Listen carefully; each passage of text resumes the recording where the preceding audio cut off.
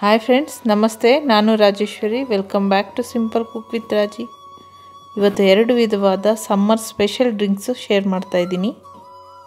Summer special ಎಳನೀರಿನ shake ಹೇಗೆ ಮಾಡೋದು ಅಂತ ನೋಡೋಣ. ಟೆಂಡರ್ ಕೋಕೋನೆಟ್ ಎಳನೀರು, ಎಳನೀರಿನ ಗಂಜಿ ಸಮೇತ ಬೇಕು. ಸಕ್ಕರೆ ನಾನಿಲ್ಲಿ ಒಂದು ಟೇಬಲ್ ಸ್ಪೂನಷ್ಟು ಸಕ್ಕರೆ ತೊಗೊಂಡಿದ್ದೀನಿ. ಸಕ್ಕರೆ ಬದಲಿಗೆ ಬೆಲ್ಲ ಅಥವಾ ಹನಿ ಯೂಸ್ ಮಾಡ್ಬೋದು. ನಾನಿಲ್ಲಿ ಐಸ್ ಕ್ಯೂಬ್ಸ್ ತೊಗೊಂಡಿದ್ದೀನಿ. ಬೇಸಿಗೆಯಲ್ಲಿ ಎಲ್ಲರೂ ಎಳೆನೀರನ್ನು ಕುಡಿತಾನೆ ಇರ್ತೀರಿ. ಆದರೆ ಈ ರೀತಿ ಶೇಕ್ ಒಂದ್ಸರಿ ಆದರೂ ಟ್ರೈ ಮಾಡಿ ನಾನು ಎಳೆನೀರನ್ನು ಬ್ಲೆಂಡರ್ಗೆ ಹಾಕ್ಕೊಳ್ತಾ ಇದ್ದೀನಿ. ಎಳೆನೀರನ್ನು ಗಂಜಿಯೂ ಬೇಕು. ಗಂಜಿ ಹಾಕೋದ್ರಿಂದ ತುಂಬ ರುಚಿಯಾಗಿರುತ್ತೆ ಈ ಶೇಕ್ ಮಾಡೋವಾಗ.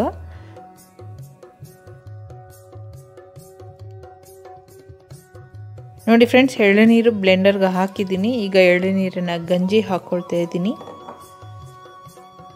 ಸಕ್ಕರೆ ಬೇಕಾದ್ರೆ ಹಾಕ್ಬೋದು, ಇಲ್ಲಾಂದರೆ ಸ್ಕಿಪ್ ಮಾಡ್ಬೋದು. ನಾನು ಸಕ್ಕರೆ ಒಂದು ಟೇಬಲ್ ಸ್ಪೂನ್ ಸಕ್ಕರೆ ಹಾಕಿದ್ದೀನಿ. ಮತ್ತು ಐಸ್ ಕ್ಯೂಬ್ಸ್ ಹಾಕ್ಕೊಂಡಿದ್ದೀನಿ ಐಸ್ ಕ್ಯೂಬ್ಸ್ ಹಾಕೋದ್ರಿಂದ ಸ್ವಲ್ಪ ತಣ್ಣಗೆ ಚೆನ್ನಾಗಿರುತ್ತೆ.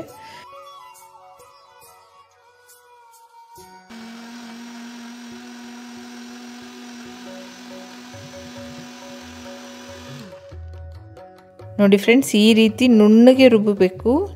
ಚೆನ್ನಾಗಿದೆ, ನೀವು ಫಿಲ್ಟ್ರ್ ಮಾಡೋ ಅಗತ್ಯನೇ ಇಲ್ಲ. ಹಾಗೆ ನಾನು ಕೋಕೋನಟ್ ಶೆಲ್ಲಲ್ಲಿ ಹಾಕ್ಕೊಂಡಿದ್ದೀನಿ. ಮನೆಯಲ್ಲೇ ಮಾಡ್ಕೊಬಹುದು ಸಿಂಪಲ್ಲಾಗಿ ಕೋಕೋನಟ್ ಶೆಲ್ಲು ತುಂಬ ಚೆನ್ನಾಗಿದೆ ಈ ಡ್ರಿಂಕು ನಾನು ಸ್ವಲ್ಪ ಮೇಲೆ ನಟ್ಸ್ ಹಾಕ್ಕೊಳ್ತೀನಿ ನೋಡೋದಕ್ಕೆ ಚೆನ್ನಾಗಿ ಕಾಣುತ್ತೆ. ಮಧ್ಯ ಮಧ್ಯದಲ್ಲಿ ಆ ಒಂದೊಂದೇ ಬೀಜ ಸಿಕ್ಕಿದಾಗ ತುಂಬ ಚೆನ್ನಾಗಿರುತ್ತೆ ಕುಡಿಯೋದಕ್ಕೂ, ತಿನ್ನೋದಕ್ಕೂ. ಫ್ರೆಂಡ್ಸ್ ನಿಮಗೆ ಈ ಟೆಂಡರ್ ಕೋಕೋನಟ್ ರೆಸಿಪಿ ಇಷ್ಟ ಆದಲ್ಲಿ ಲೈಕ್ ಬಟನ್ ಪ್ರೆಸ್ ಮಾಡೋದನ್ನು ಮರಿಬೇಡಿ.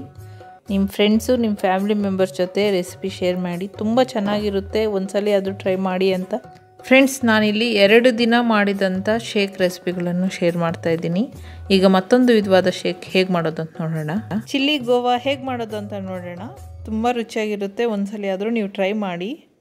ಬೇಕಾಗಿರೋಂಥ ಇಂಗ್ರೀಡಿಯೆಂಟ್ಸು ಚೇಪೆಕಾಯಿನ ನಾನು ಈ ರೀತಿ ಸ್ಕೂಪ್ ಮಾಡಿ ತೆಗೆದಿಟ್ಕೊಂಡಿದ್ದೀನಿ. ಸಕ್ಕರೆ, ಸ್ವಲ್ಪ ಒಂದು ಪಿಂಚ್ ಸಾಲ್ಟು ಖಾರದ ಪುಡಿ ಉಪ್ಪು ಮಿಕ್ಸ್ ಮಾಡಿರೋದು ಐಸ್ ಕ್ಯೂಬ್ಸು ಮತ್ತು ನಾನಿಲ್ಲಿ ಸ್ಟ್ರಾಬೆರೀಸ್ ತೊಗೊಂಡಿದ್ದೀನಿ.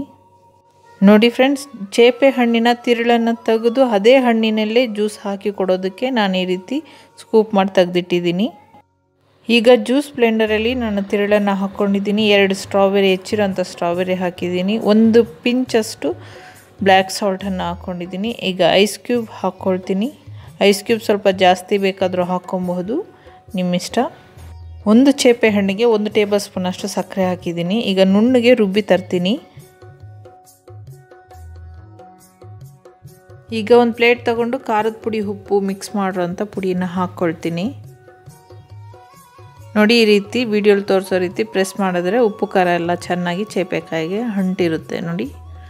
ಈಗ ನಾವು ಮಾಡಿರೋಂಥ ಶೇಕನ್ನು ಹಾಕ್ಕೊಳ್ತೀನಿ ತುಂಬ ರುಚಿಯಾಗಿ ಸ್ಪೈಸಿಯಾಗಿ ನಾವು ಕುಡಿಬೇಕಾದ್ರೆ ತುಂಬ ಚೆನ್ನಾಗಿರುತ್ತೆ. ನೀವು ಒಂದು ಸರಿ ಟ್ರೈ ಮಾಡಲೇಬೇಕಾಗಿರೋಂಥ ರೆಸಿಪಿ ನಿಮಗೂ ಎಲ್ಲರಿಗೂ ಇಷ್ಟ ಆಗಬಹುದು ಟ್ರೈ ಮಾಡಿ ಹೇಗೆ ಬಂತು ಅಂತ ನನಗೆ ಕಮೆಂಟ್ಸ್ ಮುಖಾಂತರ ತಿಳಿಸಿ, ಆಯಿತಾ? ಚೇಪೆಕಾಯಿಗೆ ಉಪ್ಪು, ಖಾರ ಹಚ್ಚಿ ತಿಂತಿದ್ವಿ. ಈ ಚಿಲ್ಲಿ ಗೋವಾ ಶೇಕ್ ಅಂತೂ ತುಂಬ ಸೂಪರಾಗಿದೆ ಎಲ್ಲರೂ ಟ್ರೈ ಮಾಡಲೇಬೇಕಾದಂಥ ಒಂದು ರೆಸಿಪಿ ಈಗಾಗಲೇ ಸಬ್ಸ್ಕ್ರೈಬ್ ಮಾಡ್ಕೊಂಡಿದ್ರೆ ತುಂಬ thanks thank you for watching